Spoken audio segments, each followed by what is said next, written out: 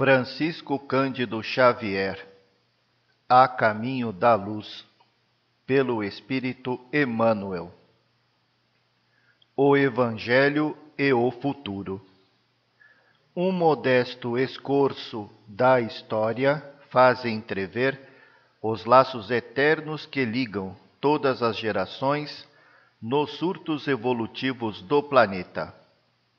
Muita vez o palco das civilizações foi modificado, sofrendo profundas renovações nos seus cenários.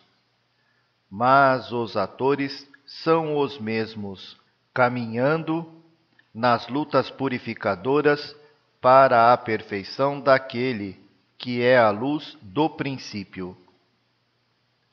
Nos primórdios da humanidade, o homem terrestre foi naturalmente conduzido às atividades exteriores, desbravando o caminho da natureza para a solução do problema vital.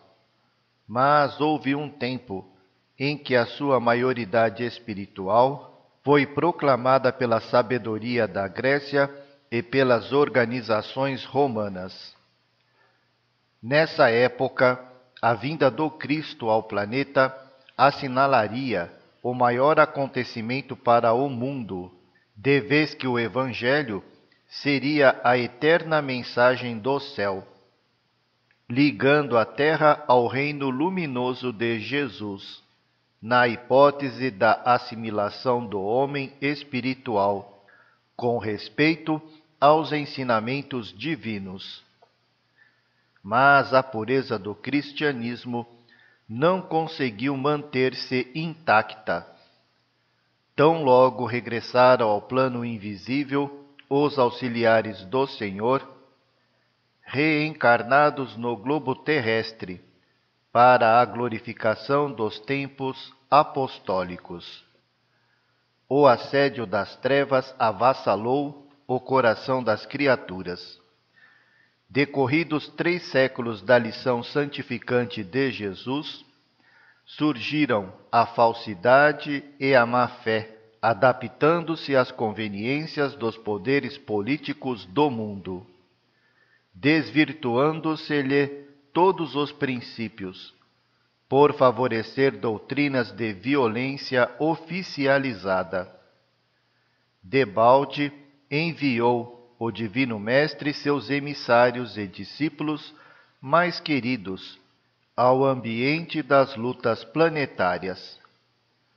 Quando não foram trucidados pelas multidões delinquentes ou pelos verdugos das consciências, foram obrigados a capitular diante da ignorância, esperando o juízo longínquo da posteridade.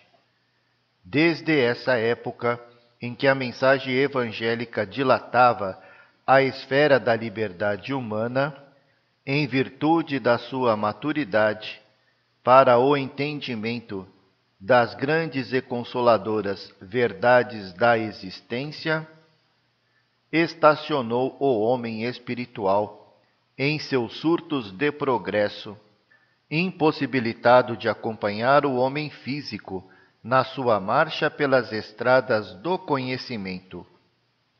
É por esse motivo que, ao lado dos aviões poderosos e da radiotelefonia, que ligam todos os continentes e países da atualidade, indicando os imperativos das leis da solidariedade humana, vemos o conceito de civilização insultado por todas as doutrinas de isolamento, enquanto os povos se preparam para o extermínio e para a destruição.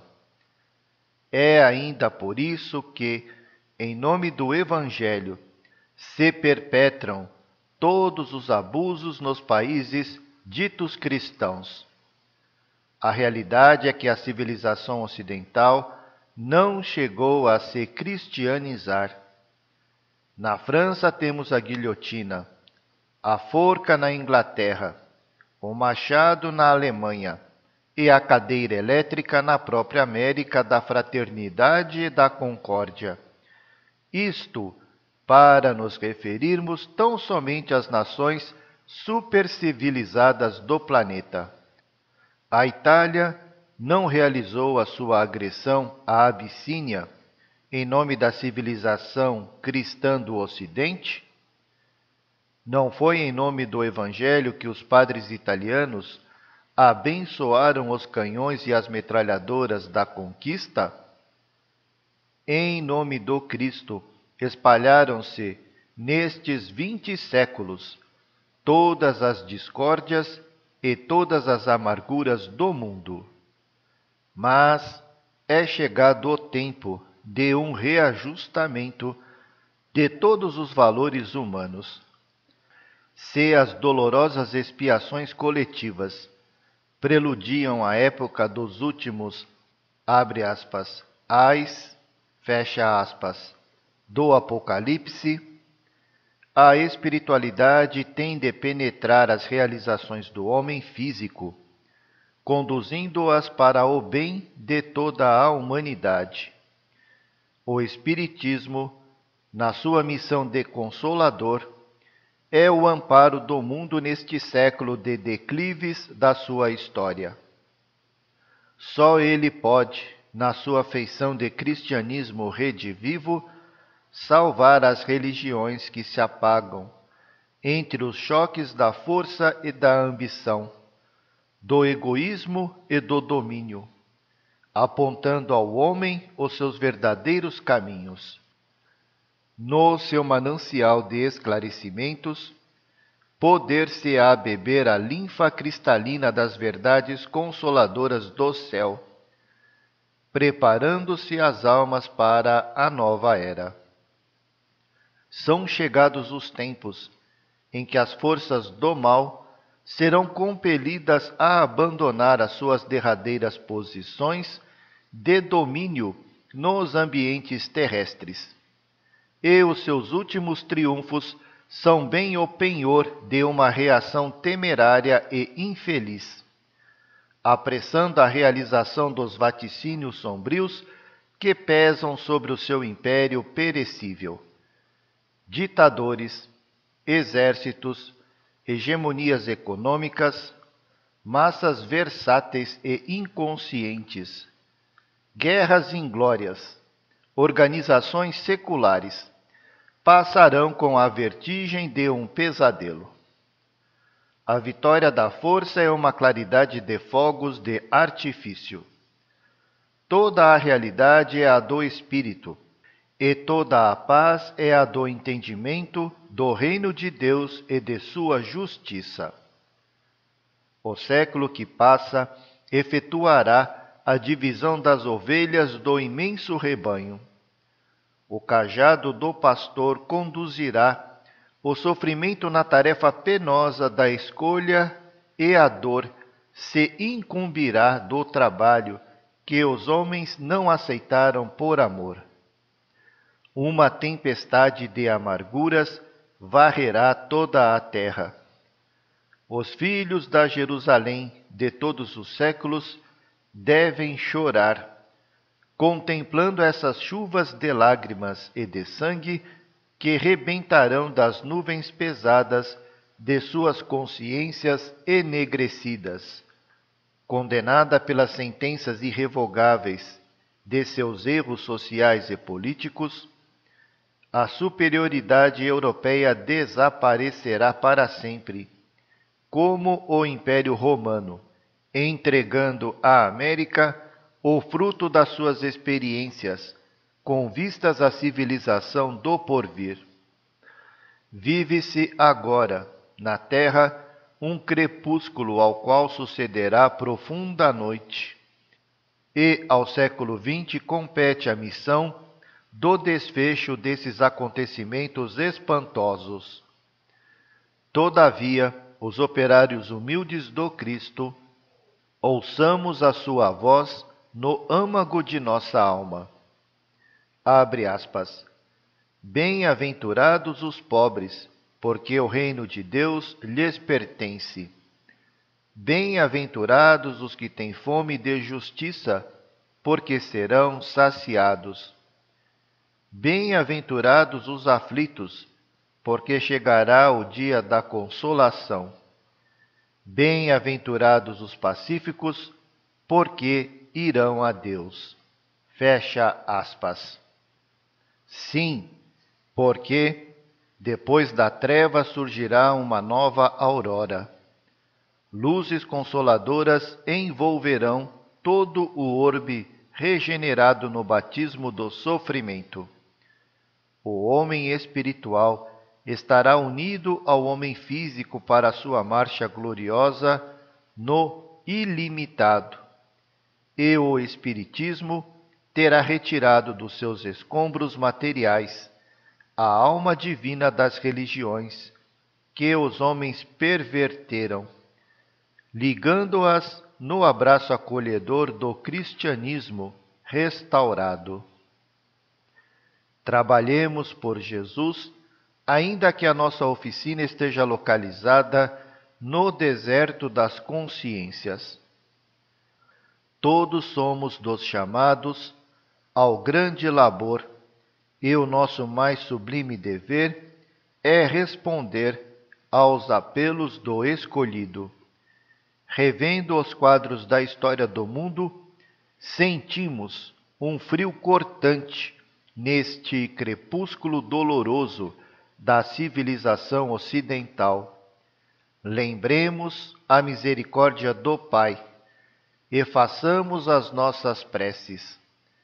A noite não tarda e, no bojo de suas sombras compactas, não nos esqueçamos de Jesus, cuja misericórdia infinita, como sempre, será a claridade imortal da alvorada futura, feita de paz, de fraternidade e de redenção. Conclusão. Meus amigos, Deus vos conceda muita paz. Agradeço a vossa colaboração em face de mais este esforço humilde do nosso grupo na propagação dos grandes postulados do Espiritismo evangélico. Como agradeço também a misericórdia divina, o bendito ensejo que nos foi concedido. Em nosso modesto estudo da história, um único objetivo orientou as nossas atividades: o da demonstração da influência sagrada do Cristo na organização de todos os surtos da civilização do planeta, a partir da sua escultura geológica. Nossa contribuição pode pecar pela síntese excessiva, mas não tínhamos em vista uma nova autópsia da história do globo em suas expressões sociais e políticas e sim revelar, mais uma vez, os ascendentes místicos que dominam os centros do progresso humano em todos os seus departamentos. Sinto-me feliz com a vossa colaboração dedicada e amiga. Algum dia Deus me concederá a alegria de falar dos laços que nos unem de épocas remotas porque não é sem razão que nos encontramos reunidos e irmanados no mesmo trabalho e ideal. Reitero-vos aqui meus agradecimentos comovido e sincero. Quando lá fora se prepara o mundo para as lutas mais dolorosas e mais rudes, devemos agradecer a Jesus a felicidade de nos conservarmos em paz em nossa oficina, sob a égide do seu divino amor. Prometemos, tão logo seja possível, um ensaio do gênero romântico. Abre parênteses, nota da editora. Refere-se ao romance de sua vida, de Patrício Romano e legado na Judéia, ao tempo do Cristo, obra já concluída e publicada em dois volumes, que são há dois mil anos e cinquenta anos depois. Fecha parênteses. Permitirá Deus que sejamos felizes. Assim o espero, porque não ponho em dúvida a sua infinita misericórdia. Que Deus vos guie e abençoe, conservando-vos a tranquilidade sagrada dos lares e dos corações. Emmanuel. Abre parênteses, mensagem recebida em 21 de setembro de 1938. Fecha parênteses.